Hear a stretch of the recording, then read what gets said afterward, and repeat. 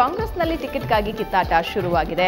ಜಯನಗರದ ticket final ವಿಚಾರದಲ್ಲಿ ಹಾಲಿ ಗೃಹ ಸಚಿವರು, ಮಾಜಿ ಗೃಹ ಸಚಿವರ ನಡುವೆ ಫೈಟ್ ನಡೆದಿದೆ. ಟಿಕೆಟ್ಗಾಗಿ ಕೆಪಿಸಿಸಿ ಅಧ್ಯಕ್ಷ ಪರಮೇಶ್ವರ್ ಹಾಗೂ ರಾಮಲಿಂಗಾರೆಡ್ಡಿ ನಡುವೆ ಭಿನ್ನಾಭಿಪ್ರಾಯ ಸ್ಫೋಟವಾಗಿದೆ. ಮಗಳಿಗೆ ಟಿಕೆಟ್ ನೀಡಬೇಕು ಅಂತ ರಾಮಲಿಂಗಾರೆಡ್ಡಿ ಮನವಿ ಮಾಡಿದ್ರು. ಇದಕ್ಕೆ ಗರಂ ಆದ ಪರಂ ಅಪ್ಪ ಮಕ್ಕಳಿಗೆ ಟಿಕೆಟ್ ನೀಡಿದ್ರೆ ಹೇಗೆ ಅಂತ ಪ್ರಶ್ನಿಸಿದ್ರು. ಎಂ ಸಿ ವೇಣುಗೋಪಾಲ್ಗೆ ಟಿಕೆಟ್ ನೀಡಿದ್ರೆ ಒಳಿತು ಅಂತಲೂ ಕೂಡ ಪ್ರತಿಕ್ರಿಯಿಸಿದ್ದಾರೆ. ಗೆಲ್ಲುವ ಅರ್ಹತೆ ಇದ್ದವರಿಗೆ ಟಿಕೆಟ್ ಕೊಡಿ.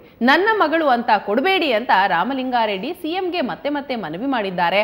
ಮಧ್ಯಪ್ರವೇಶಿಸಿದ ಸಿಎಂ ಸಭೆಯಿಂದ ರಾಮಲಿಂಗಾರೆಡ್ಡಿ ಹೊರಹೋದ ಬಳಿಕ ಸೌಮ್ಯಾರೆಡ್ಡಿಗೆ ಬೇರೆ ಕ್ಷೇತ್ರ ಕೊಡಿಸೋಣ, ನಾನು ಚೇಂಜ್ ಮಾಡಿಸ್ತೇನೆ ಅಂತ ಪರಮೇಶ್ವರ್ಗೆ ಸಿಎಂ ಸಮಾಧಾನ ಮಾಡಿದ್ದಾರೆ ಅಂತ ತಿಳಿದು ಬರ್ತಾ ಇದೆ. ಒಟ್ಟಾರೆ ಸಿಎಂ ಪ್ಲಾನ್ನಂತೆ ಬೊಮ್ಮನಹಳ್ಳಿ ಕ್ಷೇತ್ರದಿಂದ ಸೌಮ್ಯಾರೆಡ್ಡಿಯನ್ನ ಕಣಕ್ಕಿಳಿಸಬಹುದು ಅಂತ ತಿಳಿದು ಬರ್ತಿದೆ.